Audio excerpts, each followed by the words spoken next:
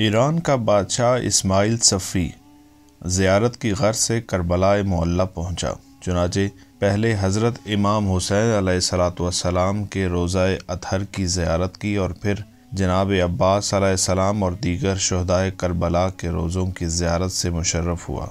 लेकिन हज़रत हुर सलाम की कब्र पाक पर नहीं गया। जो इमाम हुसैन सलाम के रोज़ा मनवरा से कुछ फासले पर वाक़ है। लोगों ने वजह पूछी तो बादशाह ने कहा, अगर हुर की तोबा कबूल हो गई होती तो फिर हज़रत से अलग क्यों दफन किए जाते? साथियों ने कहा, आला हज़रत जनाब हुर यजीदी फ़ौज के सिपा सालार थे। उनके बहुत से अज़ीज़ भी लश्कर यजीद में मौजूद थे। लिहाजा हो सकता है कि नुसरत हुसैन सलाम में शहादत के बाद लाशाए हुर को उनके अज़ीज़ मैदान जंग से उठा कर ले गए हों और वहाँ दफन कर दिया हो। बादशाह ने कहा, ठीक है, मैं हुर की कब्र पर चलता हूँ, लेकिन इस शर्त पर कि मैं खुद कब्र को खुदवाऊँगा।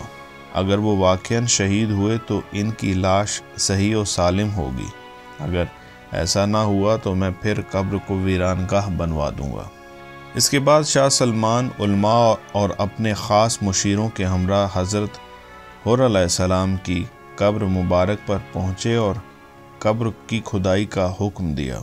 जब कब्र खुद गई तो सब हैरत में पड़ गए, देखा कि लाशाए हुर तरोताज़ा खून में गलता है और जिसम पर बेशुमार ज़ख्म हैं जिससे खून रिस रहा है। और वह रुमाल जो रोज़ आशूर इमाम हुसैन सलाम ने हज़रत हुर की पेशानी पर बांधा था, उसी तरह बंधा हुआ है। बादशाह ये मंजर देखकर रोने लगा और, और हुर की पेशानी से रुमाल खोलने लगा ताकि रुमाल की बरकत से मुल्क में अमन व अमान बाकी रहे। लेकिन अचानक पेशानी से खून का फवारा जारी हो गया।